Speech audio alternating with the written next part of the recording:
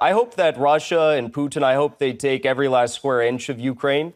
I hope that they take it all, and I hope that they truly liberate it from the Nazis and from what's going on. I think Poland's probably going to move into Western Ukraine with the consent of the United States.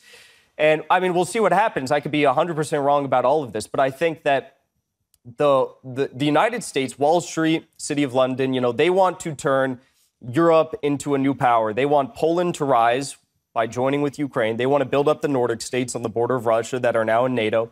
They want to hurt Germany, Italy, and France, which they're doing. They're pushing these degrowth policies and agendas in Germany, Italy, and France, and they blew up the Nord Stream pipeline, and now their economies are all crashing. Germany's in a recession. The Eurozone is in an inflation crisis, probably all going to be in a recession soon.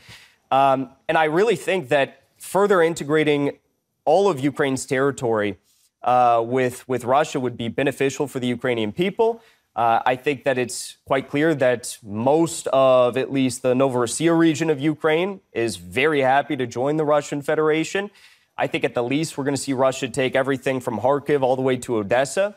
Uh, but, you know, I'll say one more time Kievan Rus used to be a part of the Russian Empire, and I don't see, uh, you know, why it shouldn't again.